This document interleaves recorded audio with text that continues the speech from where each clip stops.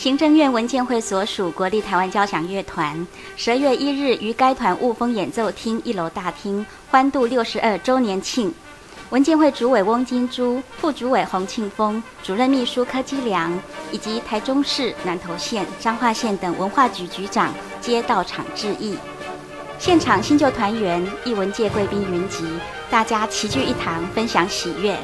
显示国立台湾交响乐团这几年来努力耕耘的成果。这一天真是国内音乐界难得一见的盛会。现在是一个资源整合的时代，我们资源整合包括几个方面。第一个，跟社区的资源整合，跟县市文化中心的资源整合。那跟县市文化中中心的资源整合，我们希望透过跟文化局的合作，每一个县市有特色的节目的时候，如何跟各县市文化局中心的合作，把节目送到各县市文化中心去。